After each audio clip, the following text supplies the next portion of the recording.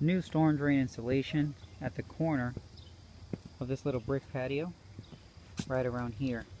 We are to lift up one, two, three, four sections of uh, pairs of bricks and install the drain right in that corner. That is the lowest point. Note this shed is to be removed prior to us starting.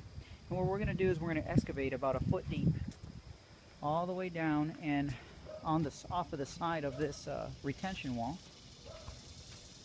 We'll be going under this dead man beam and I we're to reconnect to this corrugated pipe which we're also going to expose and lower it and take it to the edge of this little hill which has grading and vegetation. So we leave it here and then we get to dump two drains in one which would be that one and the brand new storm drain and have it as a dump site right here.